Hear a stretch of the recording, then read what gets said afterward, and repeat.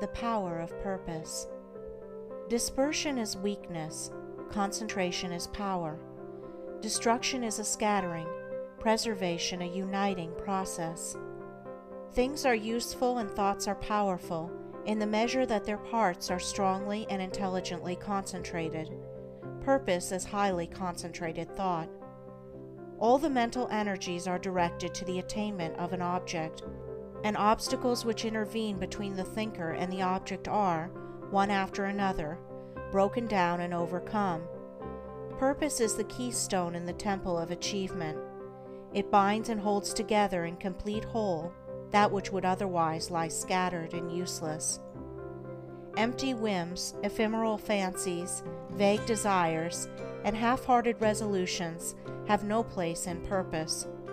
In the sustained determination to accomplish, there is an invincible power which swallows up all inferior considerations and marches direct to victory.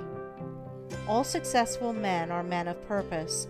They hold fast to an idea, a project, a plan, and will not let it go.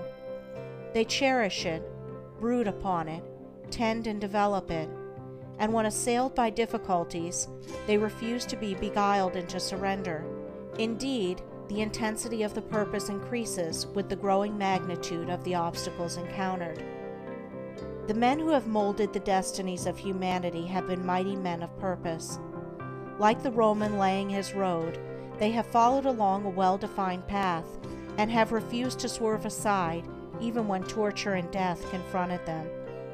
The great leaders of the race are the mental road makers, and mankind follows in the intellectual and spiritual paths which they have carved out and beaten. Great is the power of purpose. To know how great, let a man study it in the lives of those whose influence has shaped the ends of nations and directed the destinies of the world. In an Alexander, a Caesar, or a Napoleon, we see the power of purpose when it is directed in worldly and personal channels. In a Confucius, a Buddha, or a Christ, we perceive its vaster power when its course is along heavenly and impersonal paths. Purpose goes with intelligence, there are lesser and greater purposes according with degrees of intelligence. A great mind will always be great of purpose. A weak intelligence will be without purpose. A drifting mind argues a measure of undevelopment. What can resist an unshakable purpose? What can stand against it or turn it aside? Inert matter yields to a living force, and circumstance succumbs to the power of purpose. Truly, the man of unlawful purpose will, in achieving his ends, destroy himself. But the man of good and lawful purpose cannot fail. It only needs that he daily renew the fire and energy of his fixed resolve to consummate his object. The weak man, who grieves because he is misunderstood, will not greatly achieve. The vain man, who steps aside from his resolve in order to please others and gain their approbation, will not highly achieve. The double minded man, who thinks to compromise his purpose, will fail. The man of fixed purpose who, whether misunderstandings and foul accusations, or flatteries and fair promises, rain upon him, does not yield a fraction of his resolve, is the man of excellence and achievement, of success, greatness, power.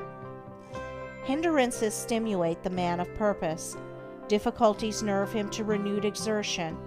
Mistakes, losses, pains do not subdue him, and failures are steps in the ladder of success, for he is ever conscious of the certainty of final achievement.